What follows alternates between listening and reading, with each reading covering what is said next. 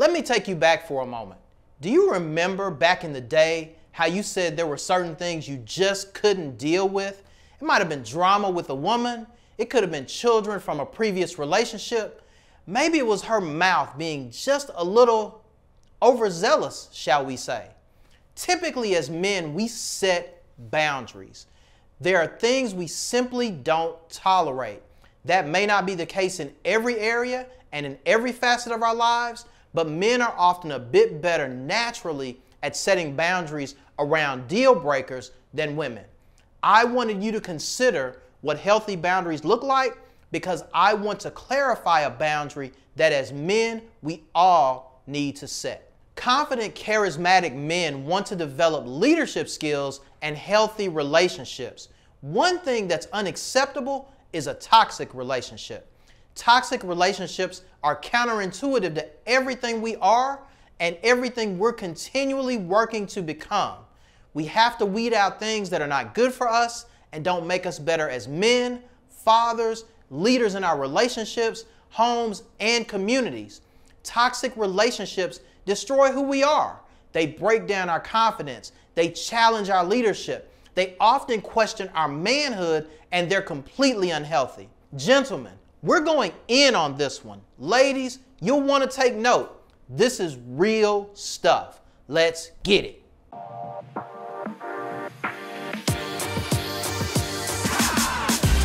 Unhealthy is not an option. I have three important points to make on this topic of toxic relationships, but honestly, bruh, we could stay right here for the entire video.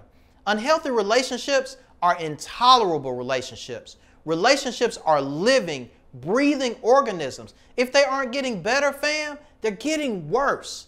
That's okay if it's something you recognize and put in the work to make it better. The problem is when a relationship becomes toxic. Dr. John Gottman of the Gottman Institute has a model called the Four Horsemen of the Apocalypse, which refers to the four horsemen cited in the Bible, but it's used to parallel a relationship that's heading towards its end. The four horsemen are criticism, contempt, defensiveness, and stonewalling. If you're doing any one or more of these things in your relationship, it's becoming unhealthy. For example, contempt is the greatest predictor of divorce in any marriage. So imagine what happens if you're dating and you have contempt for each other. When we have contempt for each other, we make the other partner feel less than us or worthless. For example, if I were to say to my partner, You've been working all day, you need to stop. You're on the computer or the phone or the internet all day, just ignoring work. You really don't do anything. You're just wasting time. You need to get a real job and stop being lazy and pitiful. I really don't even want to deal with you right now. You know what? You're a hot mess. That's an example of showing contempt. It's not healthy, bruh. Research shows that couples that show contempt are more likely to get a cold or the flu due to a weak immune system. This is how impactful and literally unhealthy contempt is in our relationships. When you take unhealthy habits and traits off the table, you create a system of making sure work is done to get to the root cause of any issue. If you agree early in the relationship that when we feel one of the four horsemen coming on, or we start blaming the other partner for our issues, we will talk to a therapist or coach or counselor. We're cutting off toxic behavior at the pass. Everyone can develop toxic behavior, fam. How you deal with the onset of the challenge is critical. I'm encouraging you in every relationship you have. Discuss with your partner now how we agree to handle things when times get tough. Things like name calling, the silent treatment, blaming you for an issue, becoming defensive in every conversation have to be signals that it's time to get another party involved. Men, take the lead on this. Whatever is required to have meaningful conversations with someone who can help, make sure to take advantage of the opportunity.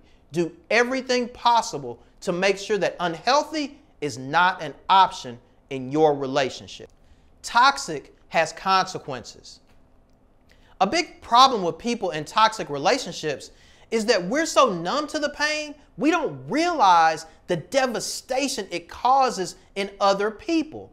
Children, parents, other family members, they can all be hurt by what you're going through. People you work with, even people who may be keeping secrets for you or keeping secrets from you. Toxicity is literally just that, and it spreads like a nuclear disaster when it's left untreated. Men, if you're dating a woman who brings toxic energy around your family, consider how that could impact the children that you're raising. You know, we're imperfect beings, but we want to show our children the best possible people as examples in their young lives. Being in toxic relationships can put people in very precarious positions. What if you're dating someone that's dealing with an addiction and it's affecting your job or your financial situation? How do you deal with it?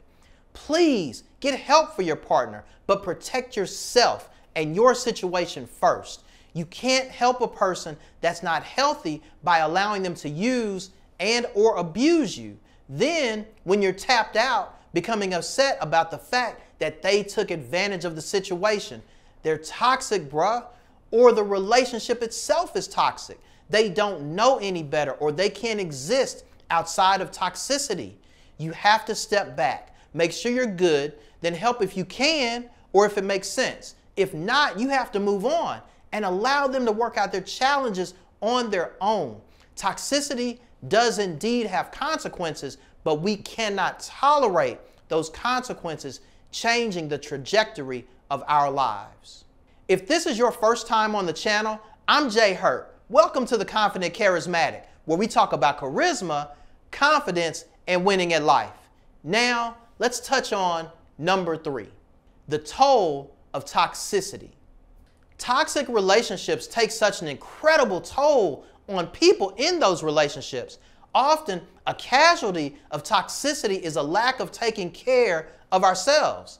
Self care is necessary and it's a requirement for us to be the best version of ourselves. We often get swept up into trying to please or satisfy the other person and losing oneself in the process.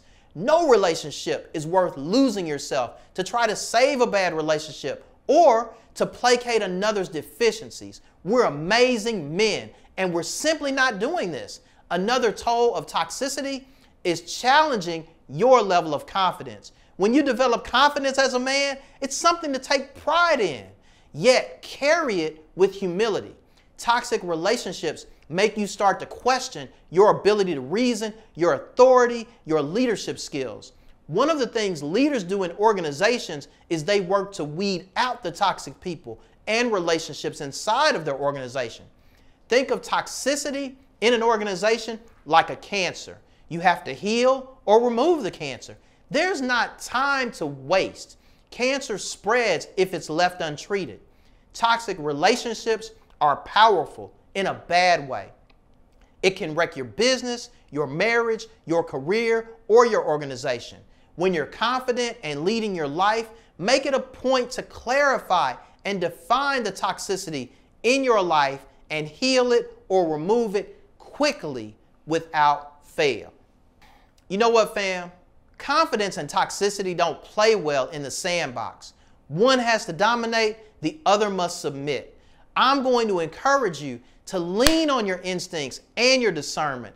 Listen to those internal thoughts and your values. When you know you're in a toxic relationship, protect yourself first. Protect your heart, protect your mind, protect your soul, protect your spirit and your masculinity, and finally, your confidence. There's no room for toxicity in our lives. We can love people from a distance and support them any way we can while not putting ourselves in harm's way. If we're going to put ourselves in harm's way, we have to give them space to work out their healing and growth on their own.